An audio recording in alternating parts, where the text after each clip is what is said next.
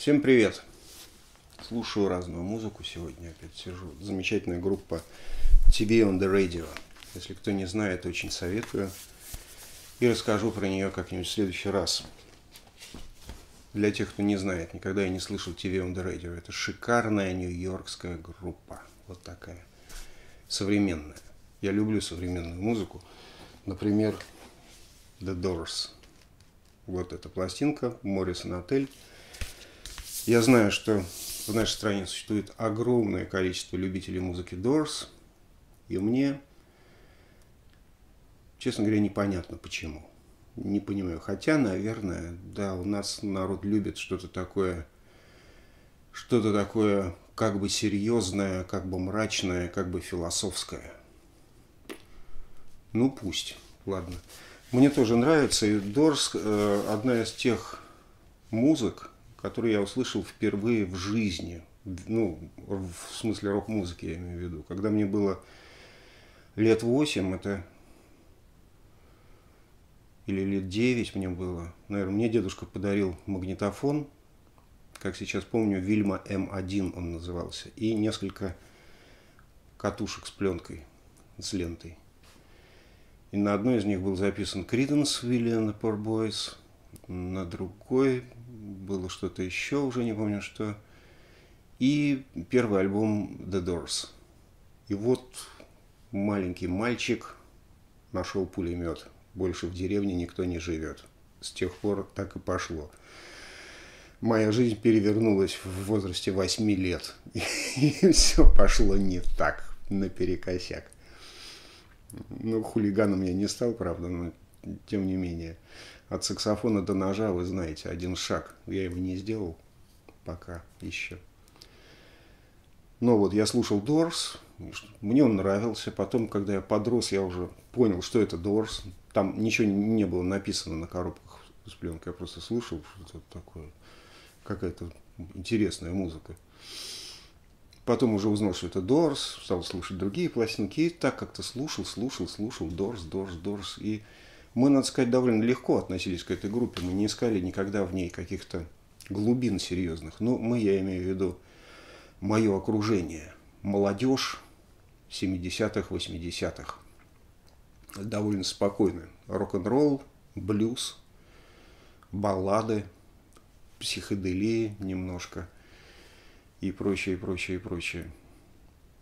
А вот я читаю в интернете всякие комментарии, всякие посты, что это прямо ох, ох, ох, это какая-то философия, это что-то такое крутое. Ну и пускай, ладно, хорошо, но для меня это просто такой хороший американский рок-н-ролл с оригинальным вокалистом, который поет по-разному. Но мне, честно говоря, нравятся больше концертные пластинки Дорс.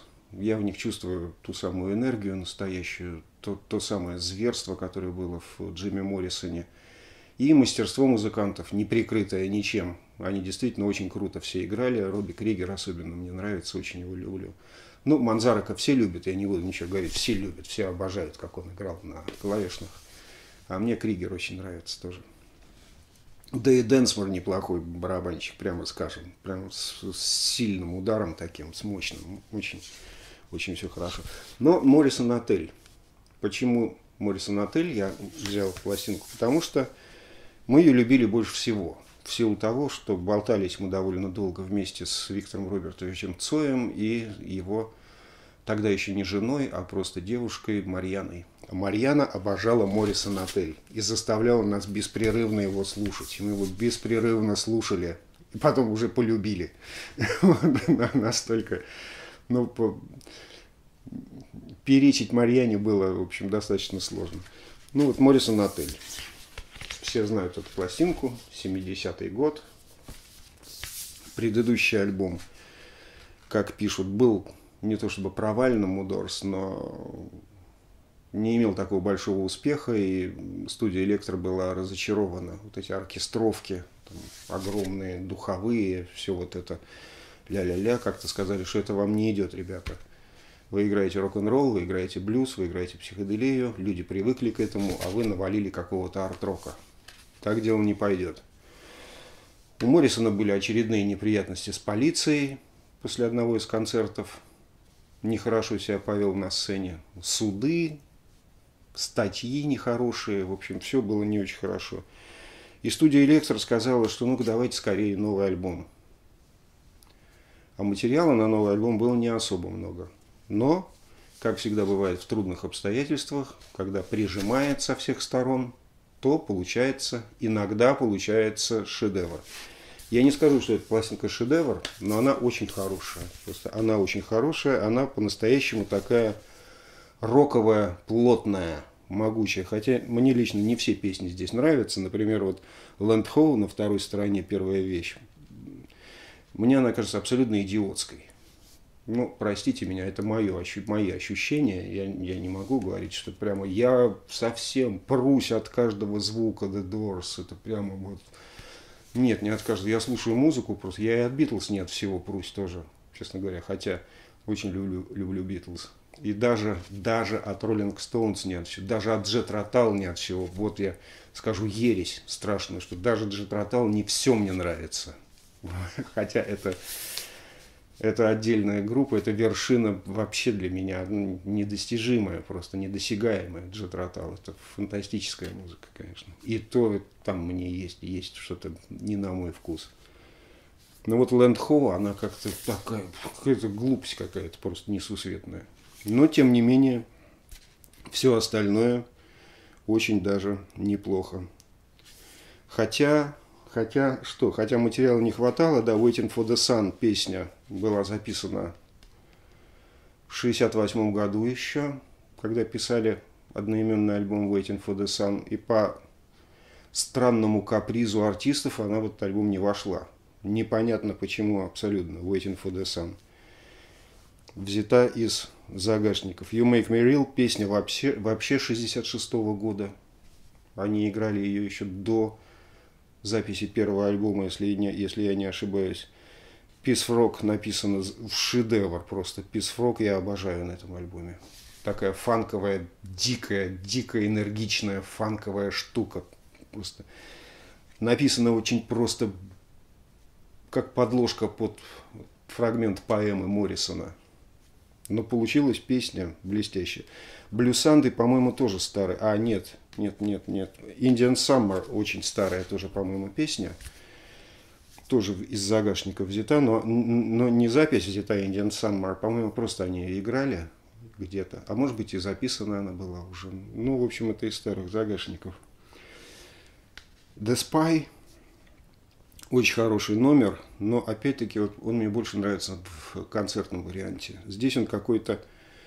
За счет того, что песня сама хорошая, она воспринимается мной великим, воспринимается хорошо.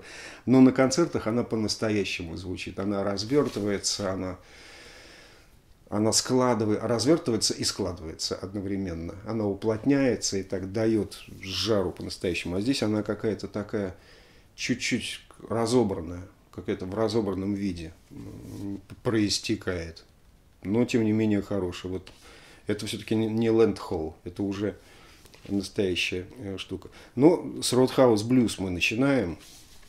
Настоящий блюз такой, белый, белый. Настоящий блюз никогда у Дорс не получался, как и у большинства, у 99,9 десятых и 99 сотых процентов белых музыкантов настоящий блюз – это музыка черная все-таки. А Белый блюз – это отдельная такая история, это в другом месте, в другое время поговорим. Но это, тем не менее, белый блюз-рок такой жесткий, который сразу вот опять-таки пластинку продает.